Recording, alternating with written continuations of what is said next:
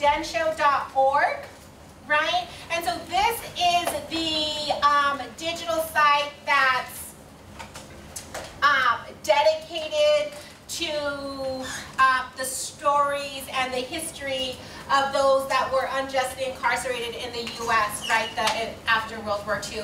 Just because it was brought up, and um, it's not one of the sites that I showcase, but they're out there, right? These digital projects are out there, um, and so I think it's important just to right, but they come up to point you guys in the right direction. Um, I don't know what this is. Um, I don't know if it's Omeka or Drupal, but um,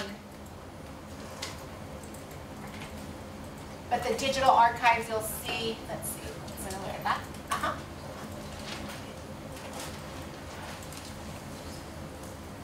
The digital repository, right? And so you'll see these kind of local stories there, right? Okay. If they go to Fort Stanton and check out the Fort Stanton uh, website, there's a lot of information on the Japanese internment there too. Okay, perfect, perfect. So, um, okay, I just thought it was, I just, I mentioned that there was a site, so I wanted to make sure that I provided it before I forgot. So now we're turning to um, the platform, right? So we kind of saw these, some neat digital exhibits, talked critically about how they can function, um, and I kind of said, oh, it's one and the same, right? The technology and the practice come hand in hand, and so that's what we're doing now. So, um, want to tell them where to go? Sure. So I'm just gonna do, we're gonna do a little housekeeping. We're on page five, pages five through nine of the handbook. If you have it downloaded, if you don't, that's okay. We're gonna cover everything. Um, here's what page five looks like. And I just want to point out there's a contact address in here for the Manitos project. If you are not here later and having trouble, there's a link in the handbook. There's also a link to the documentation for Omeka S. And that may or may not help you. Some of it is very accessible and some of it's very technical. So it's going to depend on what your question is, whether the documentation is going to be helpful to you. But it's there in the workbook and it's a live link if you have the digital version of the workbook. So, accounts. Um, Fred made accounts, well, Fred and I made accounts for everybody who signed up. A lot of people have had the confirmation email go to their junk folder. So if you haven't gotten it, that's one reason why. Another person had theirs take a really long time to get delivered. And that's going to depend on your uh, mail provider and your ISP or the Wi-Fi here or, right, there's a lot of variables. So if you can access your account, if you've been able to confirm it by clicking the link in the email, that's great. If you haven't, again, we're going to go through everything on the screen, so you're not going to be missing out, and we can do some more technical troubleshooting later to find the problem if people haven't gotten their accounts. Okay? Cool? Yay? Okay. Okay. All right. so the this is the URL to go to nmdigitalheritage.org slash login. And if you don't put the slash and the login, you're going to go to the front page, which looks like this.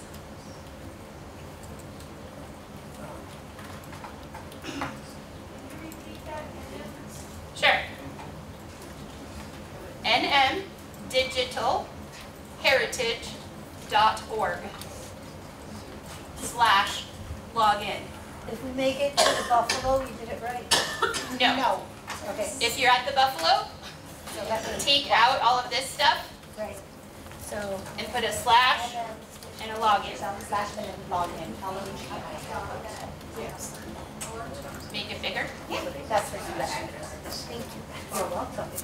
So, um, okay, so. Ah, that's a great idea. Do you want to, so just click here. And then of that. You can take a photo. Better. Of this.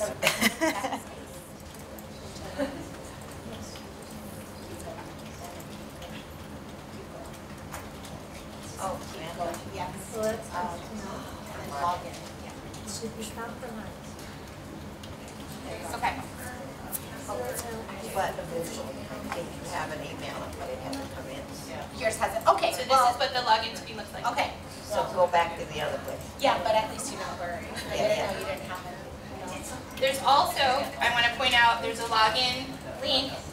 In the workbook, right, right here on page five.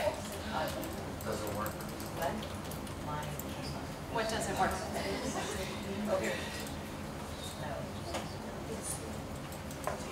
Okay, so if you're having trouble logging in, raise your hand because Margie is going around and Sarah what's here a minute ago. I don't know where she went. Oh, she's way back there. Okay. So it's, um. So, is everybody who No. has confirmed their account able to log in? Yes. Okay, good. All right, so your screen is probably going to look different than mine a little bit because I have superpowers. It should look just like Did uh, you get your email? It was in my junk. Okay, so yes, so that's, once you, once you verify, okay, so, yeah, so once you verify it all, that's where you. I So hopefully, once you logged in, um, this is something like what you're seeing. Yes. So after they get their email. Yep, there's a link in the email that you have to click, and then it'll allow you to set your password for your account. Okay, so. So, How, do- how does this compare to what you're seeing? Close? The Good? same. The same, excellent. Okay, so the basis of everything that we're gonna do with this system is creating our item. Okay? We can't, we can't use our item to tell a story if it's not here. So we have to add it first. So that's what we're gonna talk about now. When we click on items under resources on the left-hand side, Okay. Okay, and you got it. So it's gonna show us the items that are already there. Okay, these have been added by me, Ellen, Fred. When we want to add a new item, we're gonna go up to the right-hand corner. And tell me if I'm going too fast. And click add new item. Okay, there it is, there it is, there it is, so you're gonna have to follow that link. And then we're gonna wait, because the system's really slow today apparently. Yeah. There we go. It's slow enough, you people are still getting their passwords. And so if you can't log in, I think it's more important to watch than, and we can, we can get your account sorted out later. But if you, if you're not learning how to do this, you're not gonna be able to do it when you go home. I mean, maybe you can, I shouldn't, I'm not that important. But my preference would be for you to get to see it at least, and then be able to do it later. Everybody, is everybody with me who isn't having technical problems? Okay. We are going to select a resource template. Now, there are three. And um, the one we're going to pick today, start there, is called still image.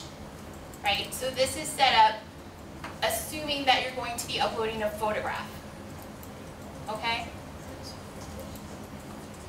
When you when you select still image, you'll see all this other stuff appears suddenly.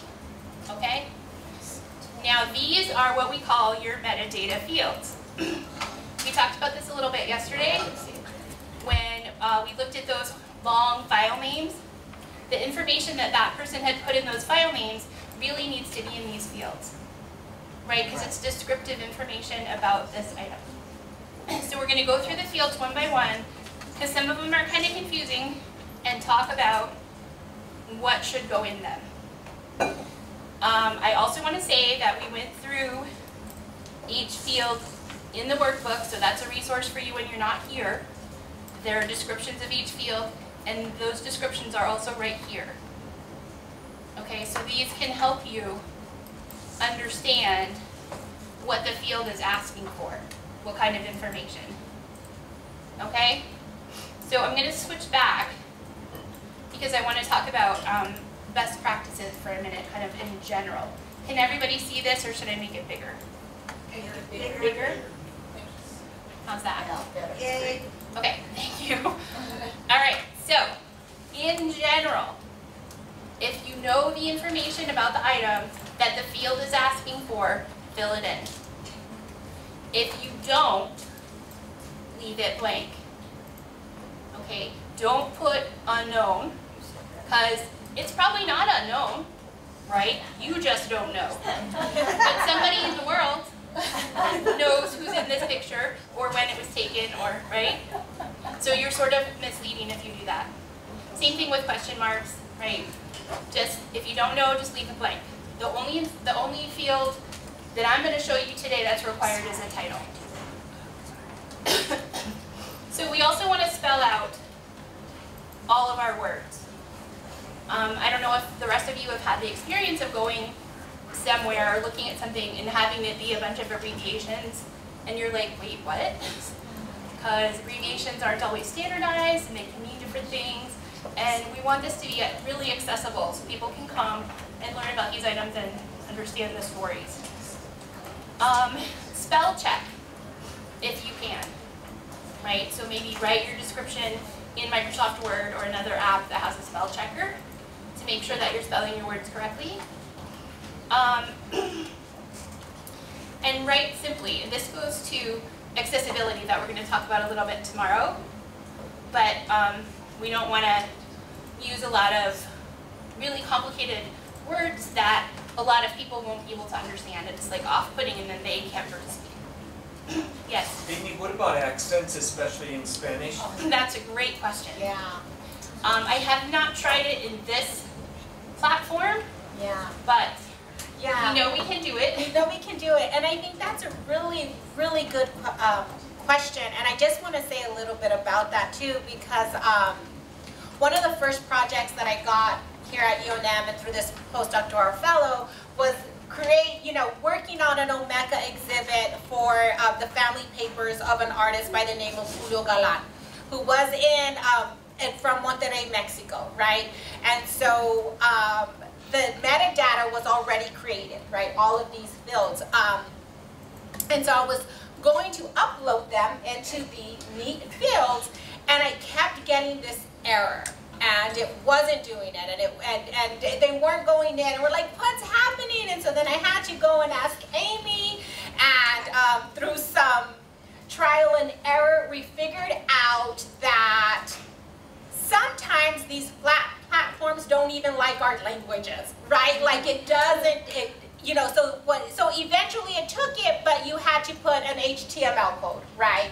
Every single time you had an accent, an enya, and so, I mean, there's bypass and there's a way to do it, but I do think it is telling about the other steps we have to go to just to get the language into these platforms, right? That that you don't think if you know when they say, oh, it needs a Unicode or it needs monolith, it's like, well, right? Who knew that? Just and and if you don't know that, luckily I had Amy to kind of talk me through. It, I kept getting these errors, these error codes, um, and so it really highlights another layer of literacy that's needed, right? So even if you get this, as soon as you plug in, you know, languages that differ, there's another layer that you have to go through. So that is a really good question. I don't know Omeka S, um, but if there's ways around it. But um, But you couldn't import text from like Word into it? well, you would have to change. We'll test it. We'll test it. Oh, Today. perfect. Yeah. That's good. Yeah, Yeah. 'cause it- that's- that's a big one, it's really important. So, um, will someone make a note to remind me that we'll do that later? Okay, great. So, I don't know why the screen is not working. Excellent. I live in Okay. this room a lot. Yeah, she does. She does. Okay, so the title is, you gotta have a title, right? And sometimes, so so I was sitting over there listening to Margie, and one of the things that occurred to me was like, like I want to empower you, right? Because this can feel like really scary to some people and kind of off-putting and like, oh, I don't know what to put. Like, you're the expert. This is your item. You know what this is. Take the power, right? Make up a title. It's okay, right? You know. So, you're going to make a title. That's pretty clear. Does anyone have questions about that one? Okay. Creator. Right? Straightforward. Question? If it's an image, Mhm. and you, like from two generations ago, you don't know who took the picture, so you leave it blank? So what, yep, that's what you do if you don't know. Okay. Yeah. And if it's a more current picture, do you put in the person who snapped the pic? Generally, so for a photograph, the creator is going to be the photographer. Okay. Okay? If it's a book, it's going to be the author. Question? Have like a pretty good idea of who took it, but you're not hundred percent sure, Take the power. put it in You decide. No, seriously. Yeah. That's what we all do, right, Portia? You decide. You got it. That someone gave you that, or you you have it by the virtue of who you are. You got to own it. Is there? Yes. oh, No, go ahead. Is there a way though that you would put like probably or? Nope. No, okay. Because if it's wrong and you find out later that you're wrong, you go back and change it. That's the beauty of digital, right? It's never done. You can always fix it. So you're not you're not carving into a stone tablet, right? Okay, who else had a? I did, but she just asked it. Okay. Yeah, You could put in the description, right, probably taken by so-and-so, absolutely. and then that would flag it to anybody that, oh, I know who took it. Right, and somebody might come back, right, and say, you're wrong. And you're gonna be like, okay, sorry. And you're gonna fix it. Believe me, I do that all day long. All right, subject. This one, this is a this is a thorny one, and Mark is going to talk later about some of the problems with what are called controlled vocabularies, which are numerous. Um, however, I'm recommending that you still use the Library of Congress subject headings in this field. Because, thank you. Because a lot of times that's what people search for, right? And what this is really about is helping people who want to find this item find it. And one of the ways we do that is we decide what things are called, and then we always call them that. Or we decide how we spell something, and then we always spell it that way. So that when people are searching, they can find those things. It's like a hashtag on Twitter, right? If you have a ha- the same hashtag spelled three different ways, it's going to be hard for people to find the tweets that refer to. Does anyone, does anyone know what I'm talking about?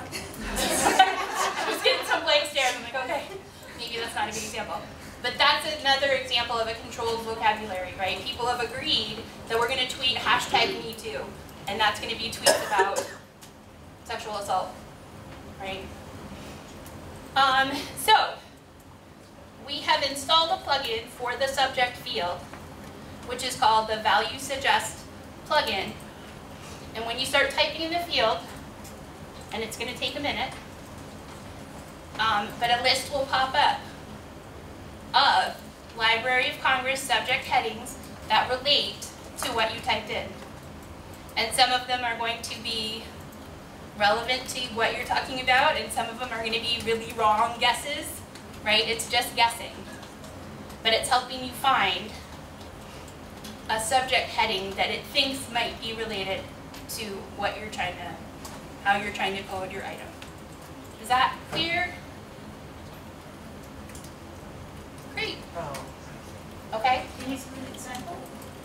Um, You've got a lot in here, so I would. Plants, right? So I typed in plants, and I get all of these different options. And again, some of them might, like psychotropic plants, that might not be anything like what I, you know, right? I might be wanting to talk about motion of fluids in, right? So it's just, it's helping you. Yes, Do you just put it for one tag, or can you put more than one? You can absolutely put more than one. That's a great question. So I'm going to select plants, and it puts a link to the heading in the Library of Congress's taxonomy, right, list of topics. Okay. Okay, so that's, so, so I've decided that the general heading of plants is for this item. This, I'm just making this up. This is That's in Omeka? Now, this is in. We're in Omeka, yep, yep. So let's say we want to add another subject heading, right? Because it's about plants, but it's also about bees. So we're going to click add value, and that just gives us another field exactly like that. And I'm going to type in bees, and here we go, right? A whole host of like weird stuff that might apply or it might not. Fossil bees. And you can do that multiple times. It's, it's, I would say less is more with subjects, okay? Because you could go on forever, right, probably, depending on how complicated your item is. I would say two or three. Yes? This is probably for later, but I'm just curious because it seems like you'd like to ask it. So as this project starts to develop a very specific Anita uh, plugin or database, does this start to build it automatically based on previous usage? Um, this particular plugin does not. This pulls from controlled vocabularies, Okay. right? It does not go into the rest of your database and find other people that have uploaded items about cows. So this will be something that a group will probably want to start to work like. Exactly. Start to build that. But Exactly. I know that's later, so forget I. it. No, it's a good question. Yeah. Okay, so are we good on subject? So description, like, go crazy. Go crazy. This is your chance to put in all of the stuff that you know, or even that you think you know, right? This was probably taken by such and so and so in 1925, and we think these people are, right? And I'm, I'm not saying hedge, right? If you know that that's Uncle Bob, then put that, right? Ownership. I'm just saying this in this field you don't need to be as sure, right? Yes.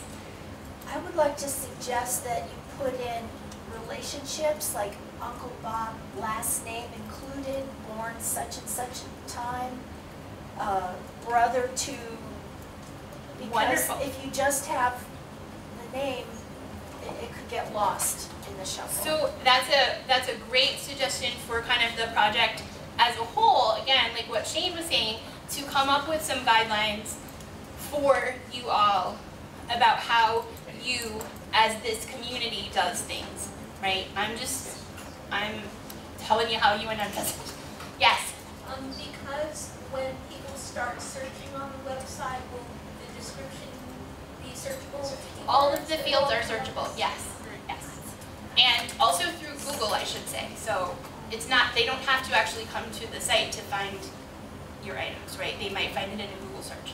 Yes. Um, I brought mine up, and mine only has title and description, it doesn't have the creator and Did you select the Still image. resource template of still image at the So, top?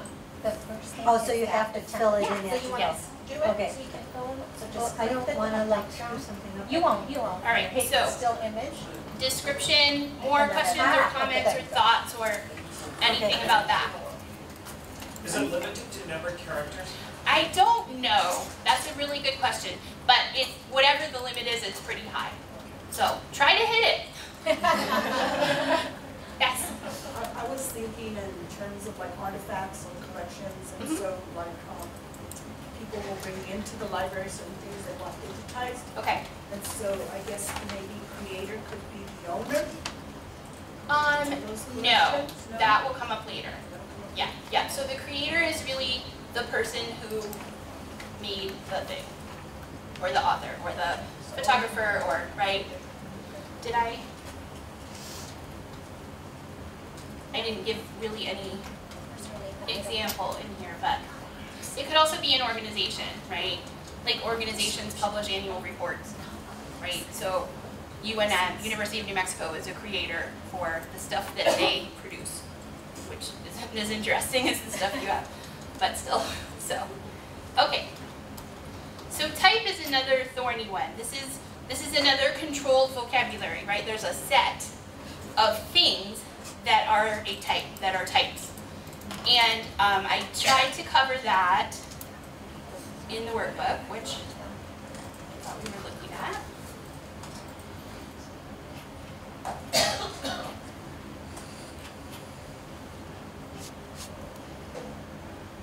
Okay, so here's type. Can everybody see this? Does it need to be bigger?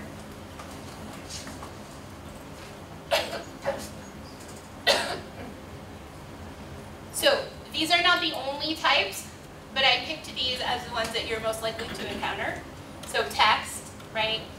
Uh, yell out some examples of what would be text. Report? Report cards, newspapers. Versus any. Perfect, all that stuff. Books, documents, any kind of document, right? If it has writing. Uh, still image, what's that? Picture. A photo, right? Um, what's a moving image? Video. Sound, right? Physical object, right? Maybe it's a 3D photograph of a piece of pottery or a, a, a weaving or So do you do pictures or physical object? It's a photograph. Okay, so this is what we talked about yesterday, right? A digital image is a digital representation of the thing. When we're talking oh. about this, we're talking about the thing, Okay. not the image of it. Okay? Does that, does that make sense? It's kind of a weird So the, abstraction. so, so the class, did you just describe the difference between a class and a type? No, this is type. Okay, what's the difference between a type and a class? Because the class has a lot of those same, Class is probably, I think in here, they're using, yeah, so these are, these are the types. They're just calling it a different name. okay, so it's, Right. it's kind So of you the can see same there's others, category. there's data set, there's event. What's a data set? Um, so, Margie, what's a data set?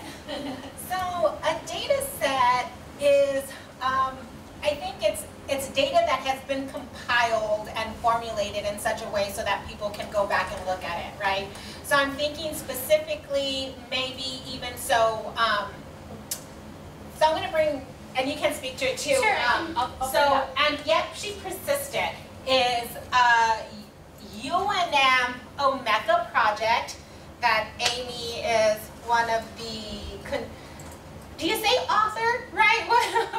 Creator, I'm a creator. creator of this. And so um, what it aims to do is kind of recover um, women's voices of, of New Mexico, right? Faculty, students, um, and so, so you, in order to get that information, they had to create a data set, right? Right. So you want to talk, So I can, I'll just show it to you. yeah, It's, I should say, I hope I'll be able to show it to you yeah. with the technical issues in this room. But, here we go.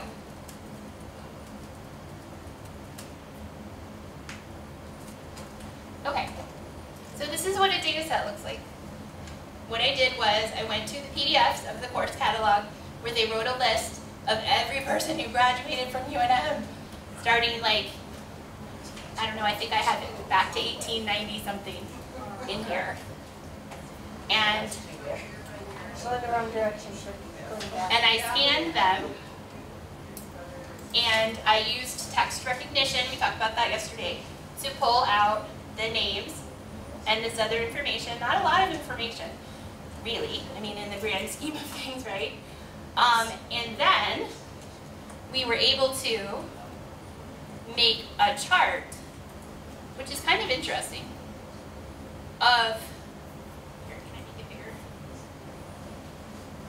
Of how um, the graduation rate varied for the sexes at UNM over the early uh, 20th century, right? So you can see that up until 1945-ish, it was fairly close, right? Almost as many women as men. I mean, not many people at all, right, early on. But it kind of grew, the two lines. Can everybody see what I'm talking about? And then, boom, what happened in the 19, the mid 1940s? GI Bill. Exactly.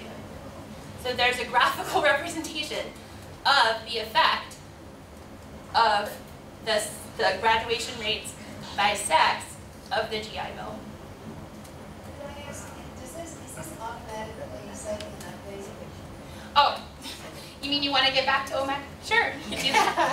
But I'm sorry, I love this stuff, You I talked project. about data sets, right? And so, and so that is important for researchers because even if Amy didn't want to do that, the fact that she coded this and created this, um, gives other researchers this like primary sources really to go in and then make another argument. So one of our archivists, Tara Samuel Cisneros, I think he did something with this data set in the sense that he took their data set and then went a step further and tried to see how many had Spanish last names. So that he could take this now and see how many, right, Hispanics and Chicanos were graduating. So that's why this data set is important because even if it, if I don't want to do it, the fact that I compiled it means that researchers can maybe draw something else from there. And that's why data sets are important. Yeah. Okay. I'll get off my Can you share that data set, or how do we get to it? It's freely downloadable, yep, yep. Okay, so, um, I don't believe that this is automatically saving, to get back to your question, Okay. okay? Because what happens when we go and click add up at the top, is it's gonna take us to another screen. So, which is not a huge deal, if you're worried, you can always click add and then go back in and edit, which means you're not really editing, you're adding more, because you didn't finish. But, um, no, I would not assume that it's automatically saving. Great question. And somebody else had said, um, oh, the class question, right? And that is confusing. And this is something um, that I set up kind of, I, I didn't have a lot of guidance, I guess, on what we would need for this project because we're just starting. So I chose to talk about still images today because I think that's a pretty common um, item that a lot of people are going to have.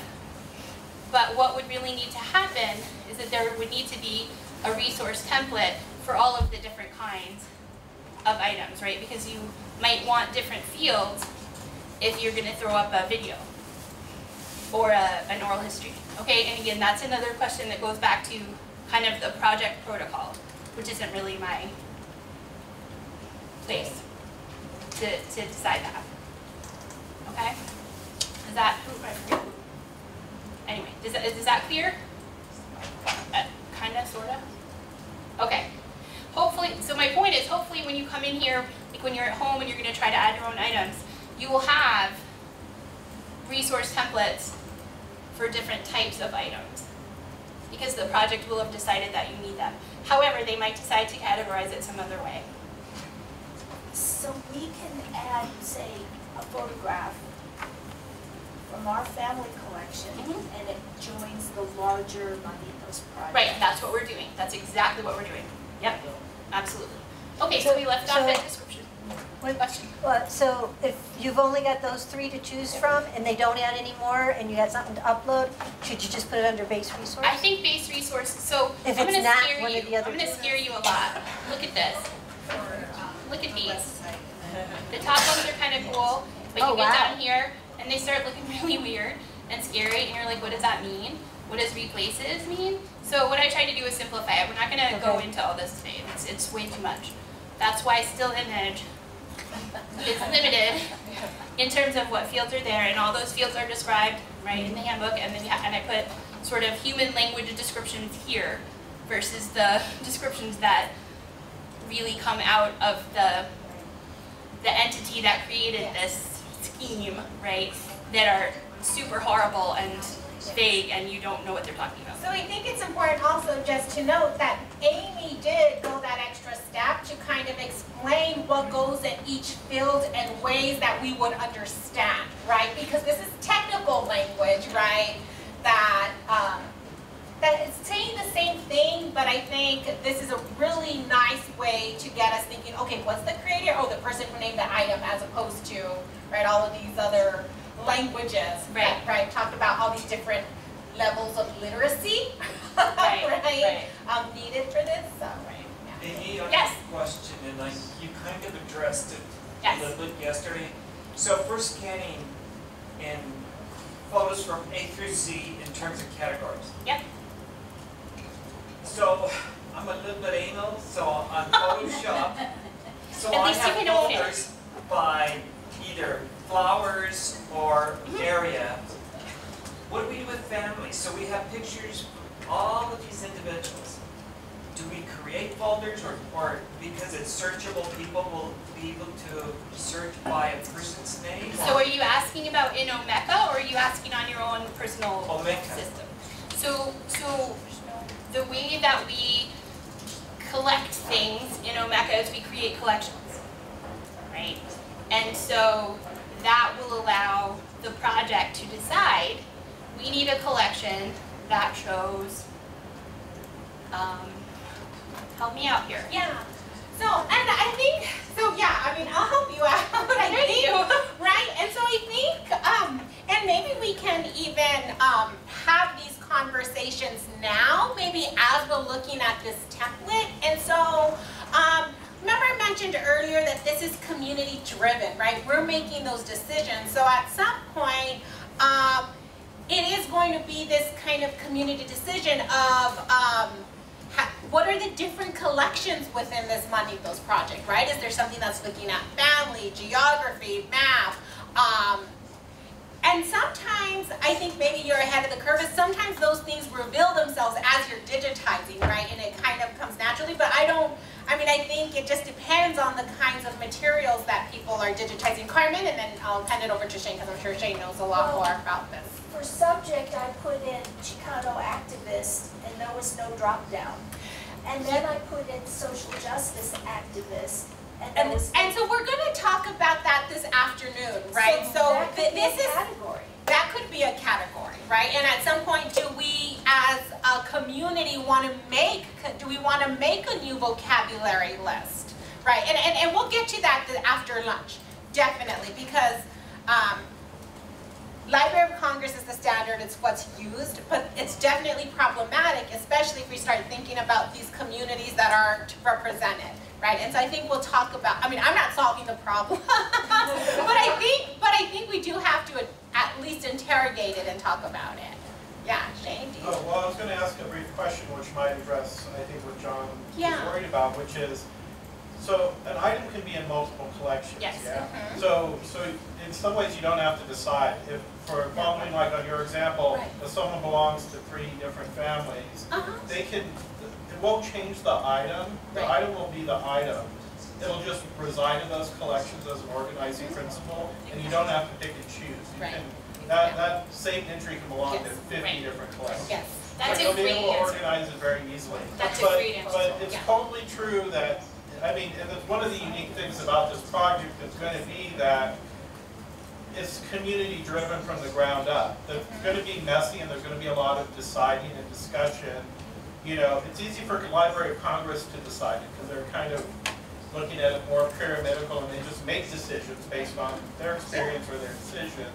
We're doing it the other way, so there will need to be a lot of work done in that. And so that's, that'll be an interesting and challenging part of the project, is how we all decide as a community or multiple communities what these, these fields are. So Right, so a lot of the questions that you're gonna have, I'm certainly not gonna be able to answer, and we may have not even, probably haven't even made those decisions yet, so we're just, we're at the beginning, yes. So basically, we're supposed to put in individual item into this. That's what we're doing now. And then with the items. hashtags, maybe we can have, Let's, we're not even gonna go there yeah, yet. yeah, but We're what gonna I, make the item. what I'm thinking is when you're putting a hashtag in, make it so that we have common hashtags, so that then when you start to divide it up, you can easily grab all these items Well, in the that. common hashtag, the hashtags was an example of controlled vocabularies, right? So that we're, so that the Library of Congress works because they have one term and this is what they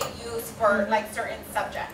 Um, and I think And that's that's so that when you go to the library and you wanna find a book on plants, you Right. can find it. If we didn't have that, we, we wouldn't, how would we know where to go to find it? And so it? as Carmen just said, so what were the two things you put in? Um, I put Chicano activist. Okay, Yeah. right. And So- social justice. So social justice and Chicano activists, right? So as a researcher, and I'm going in looking for Chicano activists, and I just put in Chicano activists, but I lose, but someone who was using social justice didn't include the Chicano activist, I'm gonna lose all of that stuff, mm-hmm. right? So, But The- can I also just say, we have Chicano movement, right? So Yes.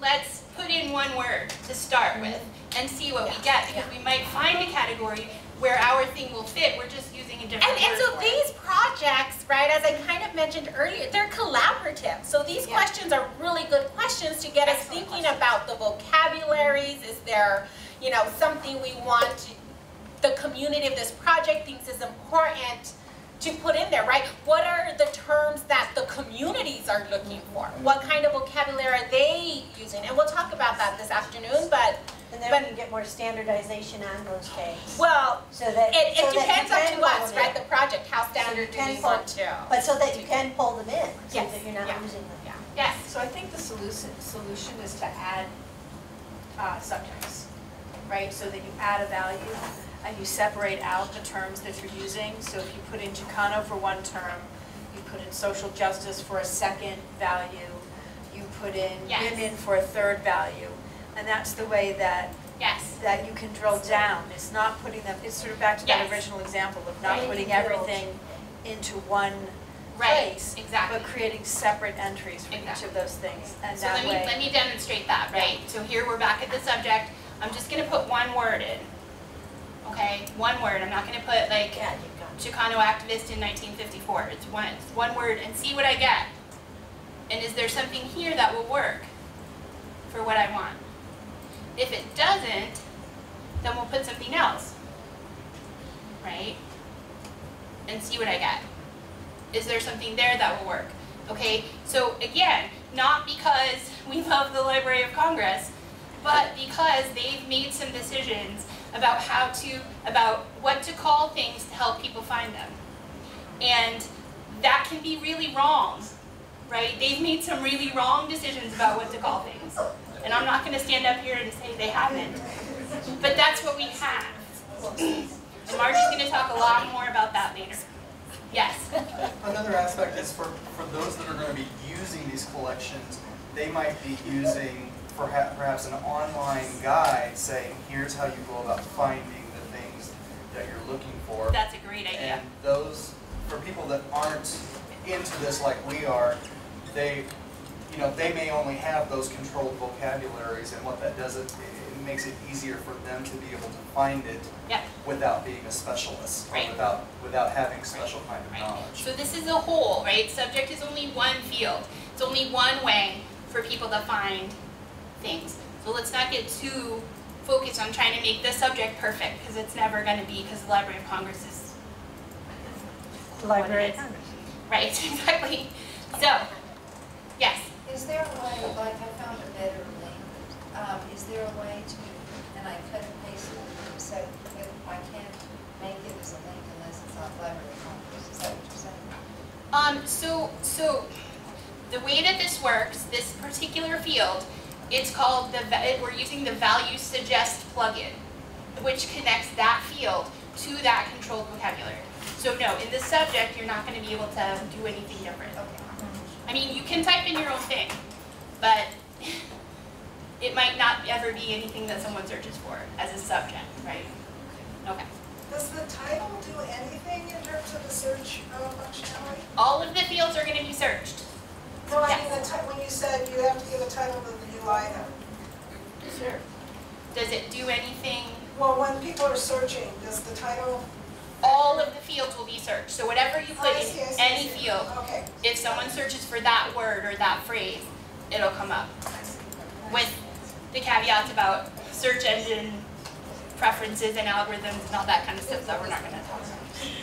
So, did we leave off on type? Right, and type is that control value, oh, that's where we went, we went to the data set and then. Okay, okay, so in, in the description over here, and the, the same ones in the handbook, I picked a few that are the most likely ones that you're gonna use, right? There's also software, there's event, I think there's service, books, some really weird ones. So what is a book? text, book. Exactly. so you have to use text instead of Anything that's a written document, yes. Okay? So let's talk about dates, because this isn't gonna be hard at all, right? So there's a lot of date fields. I chose two. I chose date created, which is the date that the item was created. Okay, so if it's a photograph, which is kind of what we're talking about here, it's the date the photograph was taken. You might not know. What are you gonna do if you don't know? Thank you. Excellent. Um, I also chose date modified. And that seems like it might not be that applicable for a photo, but one thing you can use this for is the date that it was scanned, right? Which might or might not be important. Um, what else could be the date modified? And think outside of the photograph box right now. Think about other objects. What is what what might be important about an object's modification? Yes.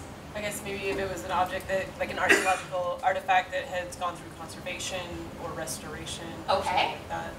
That's a good example. Some date that it might be published. Okay. Sure.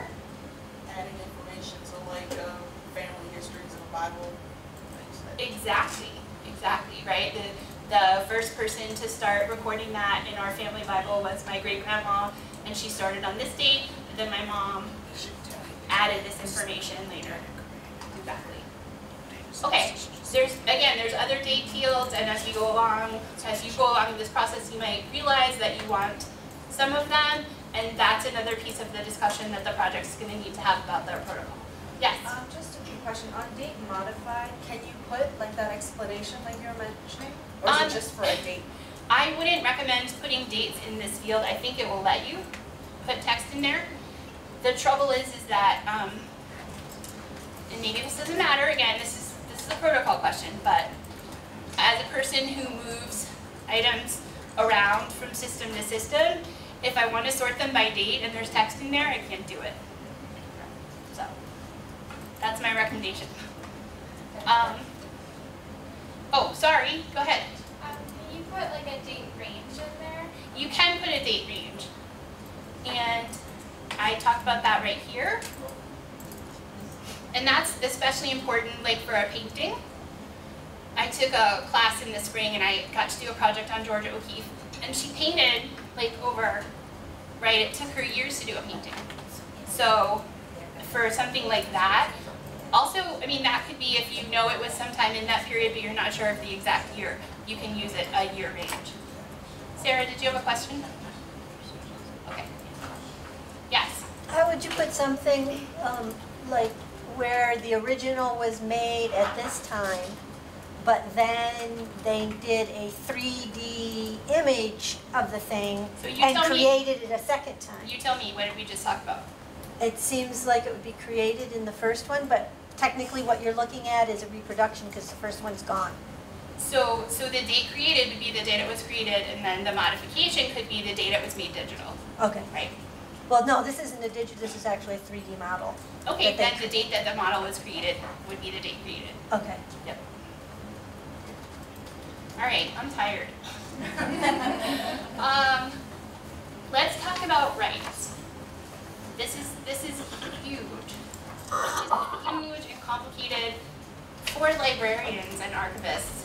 And then when you bring in, I think the community piece, you have another whole layer of thorns around the issue, right?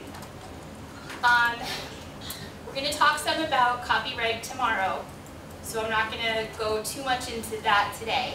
We'll have time tomorrow to talk about issues about law and rights. Um, and I'm going to provide some resources. They're also in the handbook under the rights field. There's a link to both the rights statement quick reference, which I'm going to give you tomorrow on paper, and rightsstatements.org, which can help you figure out what statement about the right to this item you want to put in there. But I know there's going to be a zillion questions, so I'm just going to stop talking. What questions do you have? None? That's crazy. Uh-huh, I knew it. Go ahead. Just- Could you give us maybe an example of something you might put in? Sure. Um, Portia, what's the CSWR one? Do you know it off the top of your head? It's just, it's the standard, um, I think, what do we say? Uh, It's something like the collection is open open for for research and educational and use. User is And the digital- for Right. copyright compliance. And rights to the digital resource are held by the University of New Mexico, which just means because we scanned it, we have the rights to the electronic version and we're not giving those away, but we don't have rights to the whatever the thing that was that was scanned. So that's an example of how we do it. Wow, okay, that was easy. Oh, I knew it. Go back to books. It, Okay. it doesn't do books like using the Library of Congress number, I, is, ISBN number, that doesn't do, Um, because that just does the whole book. It will Oh, do the whole oh, book for like, you. are you a cataloger? Yes, Yeah, wouldn't that be great? yes. Um, we can cr- probably create a field where we could put the ISBN if you thought that was important, but it's not gonna pull in the whole, all the cataloging. Um, Yeah, no, this is, Okay. yeah, different, different thing. Okay, so format. Again, this, I really hate this field. Let me be honest, it's so confusing. So this is, again, this is my interpretation, and I'm sure other people are gonna disagree with me about what you put in format. But what I put in format is extra information from the type, right? So if, if your type is text, and you're gonna wanna, you're gonna want so much to put in book, right? Or painting, or whatever, don't do it. Put text, put still image, whatever. And then when you get to format, that's where you get to put that other stuff.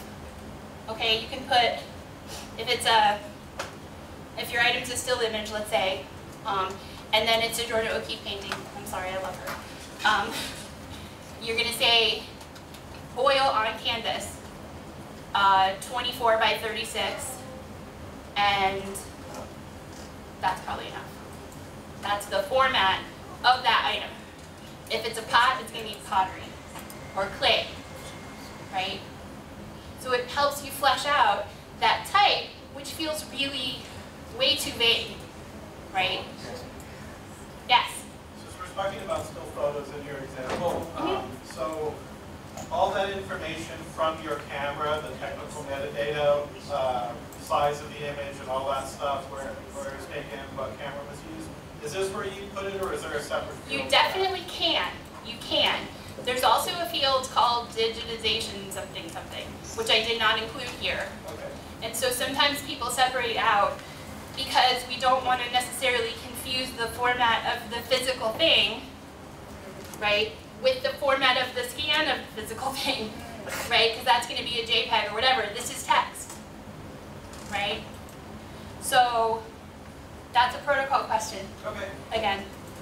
Um, this is how I use format here, right? I put in, if it's a, if it's a five by seven photograph, then I put photograph five by seven in the format and the type would be still image.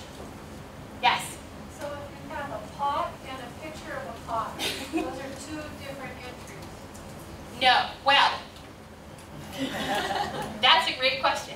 So did you take the picture of the pot so you could put it here? Then they're not, they're the same. I mean, they're, they're one item. Because you, what you're really putting in here, the item is really the pot, but you can't put the pot in the digital archive. So you need a picture of it first. So that's what you're gonna attach. Does that make sense? So you need a separate database for inventory physical items. Yeah. The Are, do you work in a museum? Yeah. No, well, Okay. I'm a member of a historical society and I'm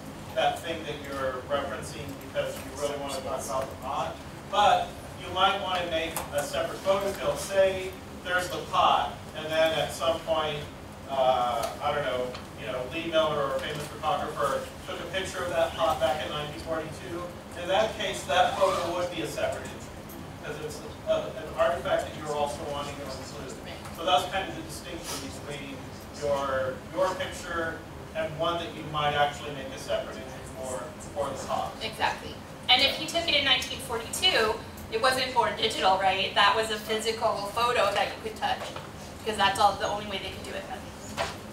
Okay? So in a Yes. minute, then you don't use it for the artifacts, the actual artifacts, to kind of, as a So, so generally speaking, what we're doing here is we're creating a record for a physical object, right? Something that's printed on paper or a pot or something like that, in general, okay? So like Sean said, the picture that we took, or the scan that we made, it's like a portal, right? It's like a window. So we can see the object because it's on the internet. So we don't care too much about that. The times we care about images are when they were from a print and we scan them. With me? Also, would you just do a different class then, physical object versus Um, still image if you're, if you're just talking about like a pot? Exactly, exactly. So the class would be um, physical object or it would be data set or whatever, right? Okay. So there's murmuring. Can I clarify more? Can I get someone else to offer an explanation? Okay. Language, this should be easy. What's the language of a photograph? Visual.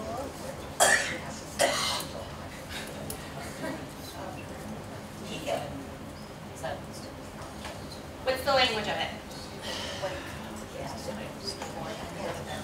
It doesn't have a language, right? If there's no text, there's no language.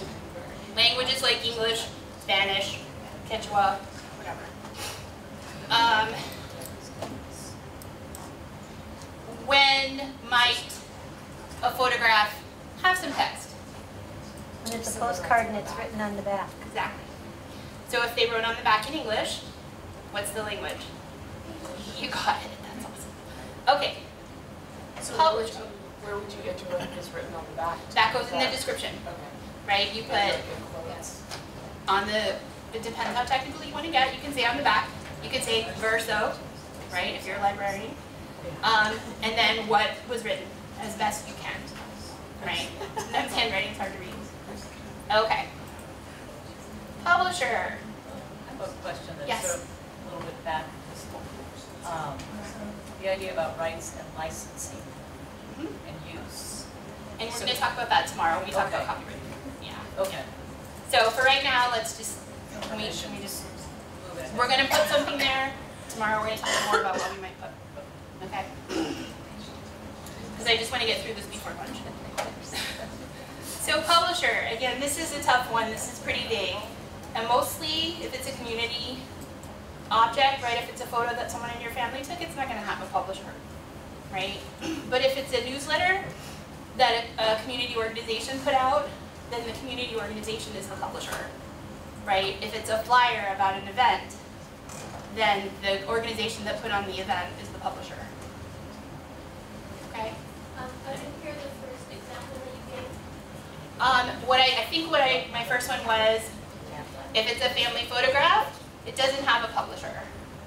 If it's a community newsletter, then the organization that puts out the newsletter is the publisher. okay?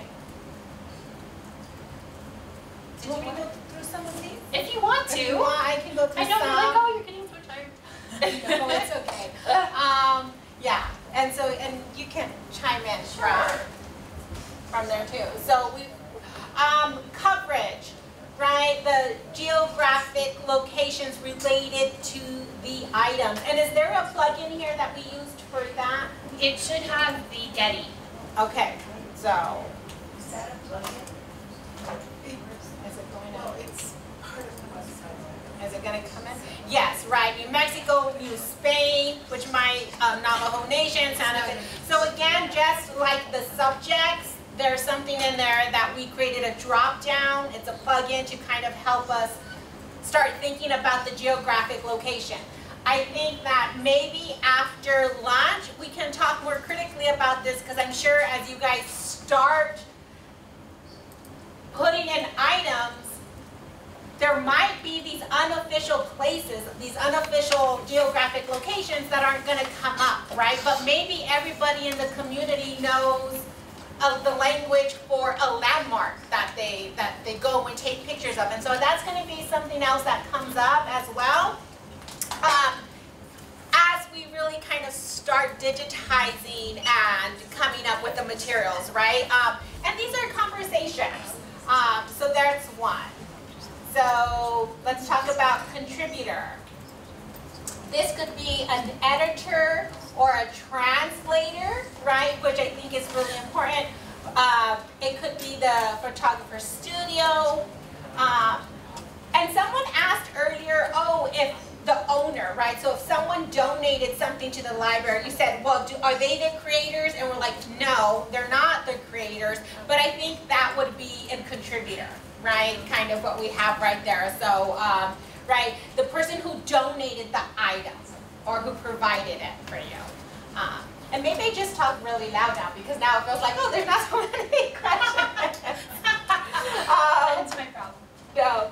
Uh, date, appointed period of time associated with the event in the life cycle. So that's different from the other dates, right, that we had. Uh, so the one was the date created. So if we know when the item was created, the date that um, you digitized this, but there's also just this general date of, oh, so as we saw in that example from the Chicana por with that bumper sticker, so maybe that date is, you know, it spans the Chicano rights movement. So it's the 60s and 70s because we know of that time period. So that's kind of more about the date that's associated with the event, with the life cycle of the resource. Is that I think I meant to delete that one because it's really big. Because it, is it kind of redundant? So Okay. just click on the trash can. All right, you want me to do that right now? Yes, go ahead. And then people- Because we're a community of, and we're all making the decision that we're gonna get rid of it. There we go. Okay. Actually, mine is something that's going over, I'm not sure we all. Yeah, we don't, yeah, there's some different things. So that would be because you you didn't select still image at the top in the resource template. You did? Okay. I, then I can't explain that, I'm sorry. Okay, so those are supposed to be that? Yeah, you should be seeing this because it's all the same resource template. So you're not getting, No, No. it just stops at contributor.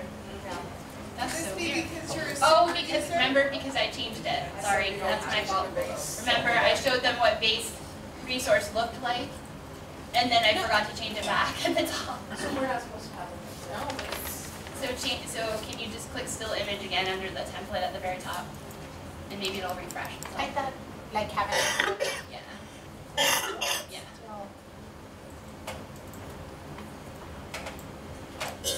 Definitely don't want people to be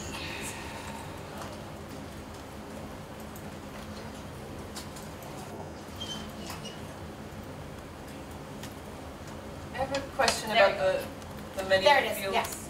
Yeah, you're right. Okay, excellent. So say we're going through and we're doing like a physical object or a base object and there's the many intimidating fields that we, um, some we don't have the information for, but some aren't relevant. If we were to just hit the trash can on the irrelevant ones, that means that if somebody else looked at the record for the object we created, they're not gonna see a bunch of blank fields that they think that maybe somebody else can research, it's just not gonna show up at all, right? Right, Okay. and so if you think someone might come along later and wanna add that information, you should leave it. Okay. But if you know it's never gonna be relevant to your object, then you can take it out. And I think that is Thanks. something that's really fascinating about these community projects and about everybody having their own login sites to this Omeka S is that it doesn't preclude the fact of somebody else coming along and saying like, oh, I know exactly when that was and I'm gonna put in the date even if you left it blank, right? I think that's part of the, the power of this kind of platform for this community building project. Thank you. Yeah, so I think Amy, I kind of, So it maybe over at maybe we're contributor, right? Yay. Maybe, but we can still facilitate some questions and then go. Um, I was just wondering if, um, if anybody in the community can get on and change it? Is there some way to safeguard it, that it's still safe in case somebody gets in there and just puts a bunch of Yeah, garbage in? that I don't, I don't think so. So I think everyone who has a user account can access all of the items in Manitos. Uh-huh, Yeah. And that means deleting items. yeah, so Yeah. I'm thinking you should somehow have a backup for it, for That's safety reasons. I mean, I'm sure Fred might be able to know tomorrow if there's some kind of way of version control of like going back to, to stuff. Um, yeah, maybe. I just want to um, interject really that part of the idea of getting such a diverse group together was we have experts together with beginners, and if people um, are willing to serve as a resource to those people who are just starting out, especially in people in communities, if they have questions and want to ask somebody who's close to them, um, please identify yourselves to me as being ongoing resources beyond the term of this workshop, um, so that we can let people know that you're willing to answer questions that they might feel, um, they'll sound stupid if they ask, you know, somebody who's not you. So, um, And so, and I think that once we kind of start getting our hands on these materials, these questions are less abstract and it's literally, oh, I want to document this workshop. Here's this workbook that Amy put together. What is this? Is it a born digital? And so when you start having really specific examples, um, sometimes this makes a lot more sense, right? It really, really does. Yeah. Yeah. Do we have time to maybe walk through like one more media type, like maybe like an interview or just some of the basic stuff, just to see how we. So I don't think we, um. So these are kind of built in right now, the templates, right? Those, those are the ones that have been. These are the ones that have been completed, right? Basically, the tires, the tiles wood blocks were over there, already there in the still image. Um, Do you download an, an, an image for this? Is it still image? Okay, yeah, so the still image, so you know how yesterday we were talking about digitize, and this is just one example for the still image. So yesterday, some folks went upstairs and we talked about file naming, digitizing items. That would be saved to your computer, to your USB, wherever your own personal archive exists, right? So what, what happens is you have access to that, you log into your Omeka site.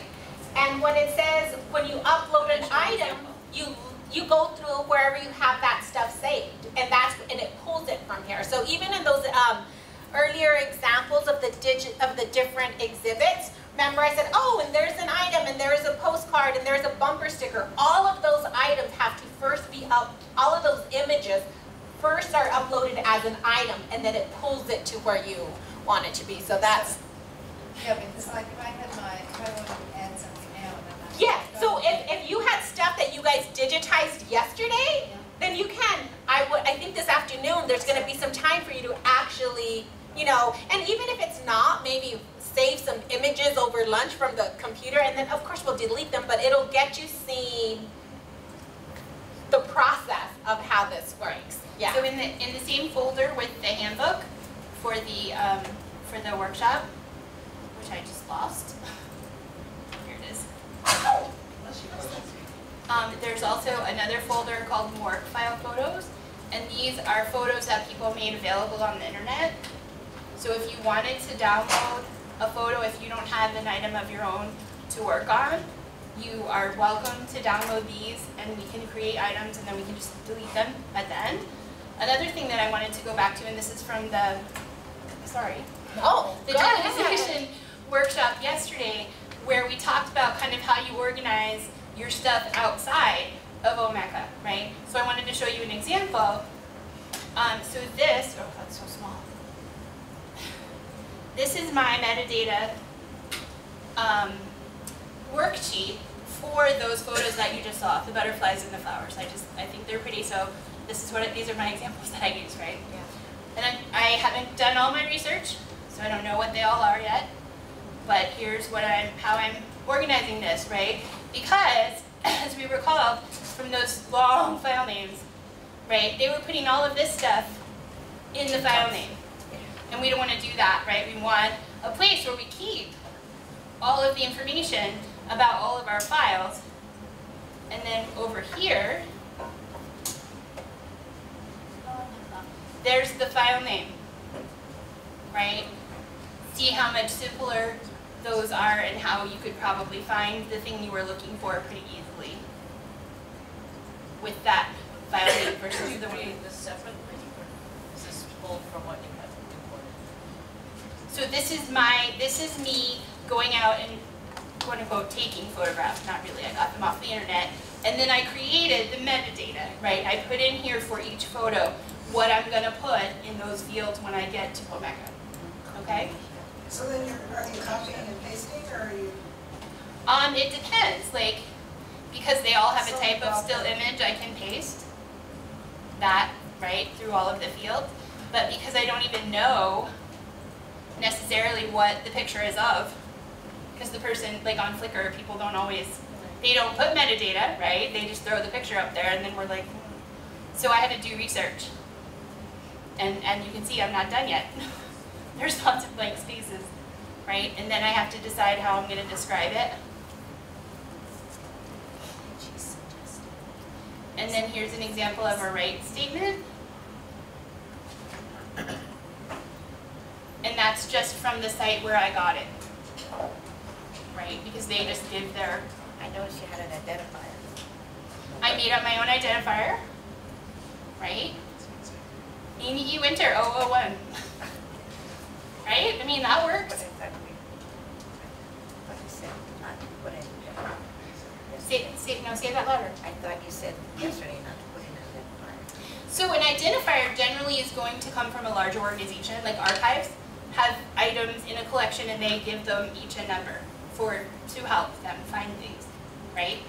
Um, you as an individual might not want to bother with that, but I did it as an example to show you that you can.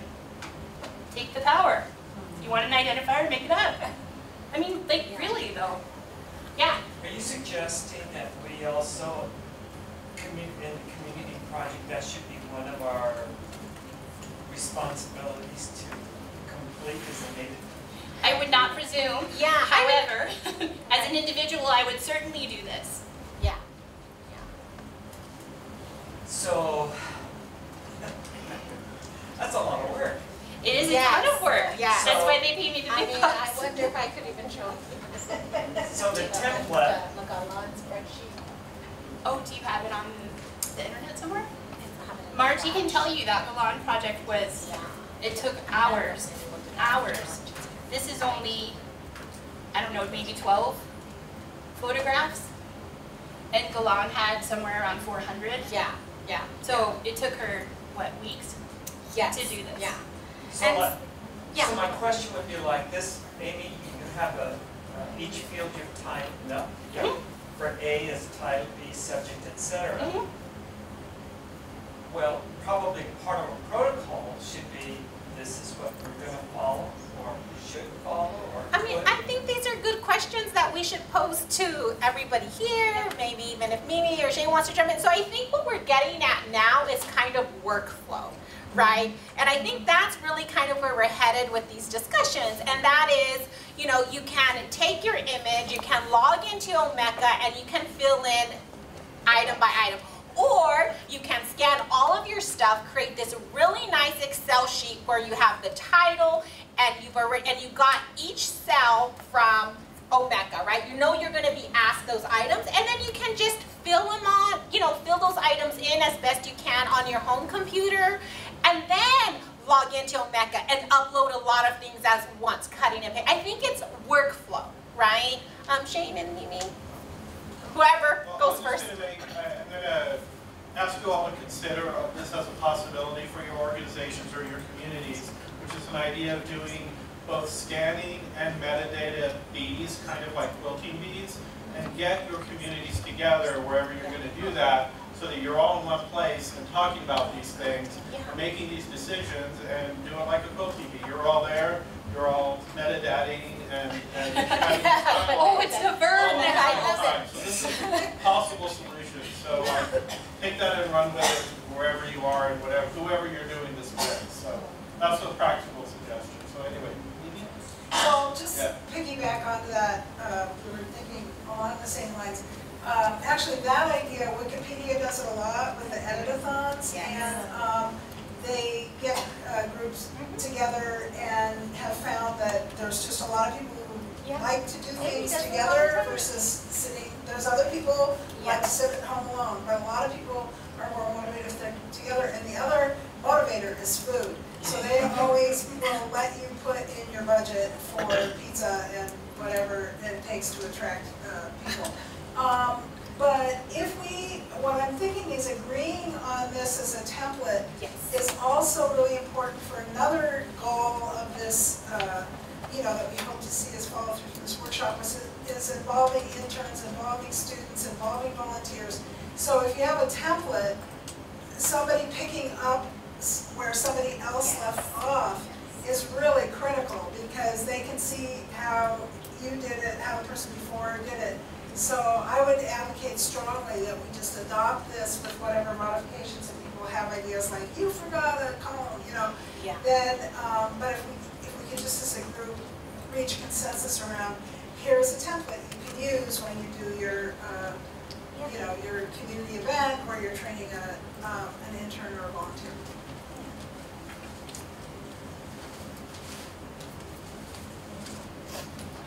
Great.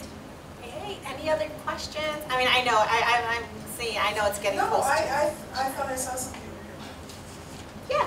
I was just Googling what is Omeka Uh-huh. before you all start talking about it. And it has two kinds of Omeka that you can actually download. One is for institutions and one is for like researchers and professors. So. Okay, so, so there's Omeka Classic, right, and there's Omeka S. This is Omeka S. Okay, and there's, um, again, that link in your handbook where you can go to the documentation for that particular system. So it's, because that's the one you're gonna be using. And then I saw that there were lots of extra categories that, that we can't, we only got down to contributor, I think. So, um, I, I think maybe, are you talking about the fields here? Fields. So what I did is I went in and I created this resource template. And I took out a bunch of the fields that are Oh, okay. irritating, yeah, in my opinion, right? But the project can decide that those fields are important and can add them back into this one about still images or can create other ones that include those fields. So it's kind of like we had three different dates, like date created, date modified, date of the activity, and so at some point, right, to kind of write a template and help this move forward, right, these are kind of decisions, right, folks are making.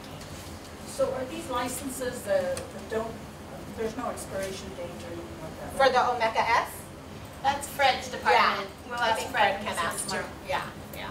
Did you have your hand up over there? Um, yeah, I'm just thinking out loud, I guess. Um, so like, like the date that, that came up that you deleted, maybe that would have been a place to put, uh, the lifespan of an individual in a photo, right? Or would that go in the description? So the, so the fields are about the object. Okay, so we're describing the object, not the people in the So photo. then, but people will search, and, and that will be an identifier if, if, oh, I have the right ones. So put that in the description. In the Put description. Bob Smith, nineteen twenty-five to nineteen ninety-five, or however. That for a lot of people. In the description. Yeah. Yeah. How does the search, um, you know, if someone types a word in, like, for instance, in your title, um, will it pull out, like, there are four words in my title, and someone does a search, will it look at, will it still pull, you see what I'm saying? So, are they searching on the Manito site or are they searching on Google? Oh, I see. No, on the Manito site, because I was doing Palisades and Cocoa Road. And if someone put in just or just Pueblo, Mhm. would it still pull it up? Yes, it will. what I'm asking? Yep, it will. It will pull up any item that has that word in any of these fields. Now, on the fields for mine, I put an underscore between each word, should I not do that on the title? On the, on the actual site. On the actual. So like in the title field here? Yeah. No, this is, this is text, so this is different than the name of your file that you scan. That's where we don't want to use spaces. Yeah. Okay. No, this is just regular text. Um, because when it gets translated to the front end, it's what people are interacting and reading with, and so you Right, it's this, right? Yes. Buffalo Right. Hunt, that's the So that's the main page of, right, the front end of this Mappa project. Two quick things. Um, for the creator, you could put down like the artist's name and the age range in there also. Um. So, um, again, I probably wouldn't. Uh-huh. Um, there are, there are controlled vocabularies for people, famous people, right? Uh-huh. And they're gonna have decided that for a famous person, right? Like Richard Nixon. They're Uh-huh. gonna decide how his name is gonna be displayed. Okay. For a non-famous person.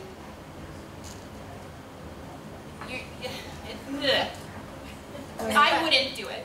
Okay, but, but if you put their, their, when they were born and died in I that wouldn't. section, it would screw things up. It, I don't know that it would screw things up. I But wouldn't do it. might. I'd put their name, and then if you wanted to include their lifetime, I'd put that in the description. That's Okay. me. Mm-hmm. Okay, and then the other thing is, under the subject, just so that people can talk about it after, I put in activist, and if you put in activist, there's a long list of things that come up, Look at that. of all sorts of things. Cool. But I tried putting in some of the other words and it was, Yeah, for this, to get your search, try starting with one word. Thank you. Yeah. yeah. yeah. Okay, so maybe we'll break for lunch five minutes early.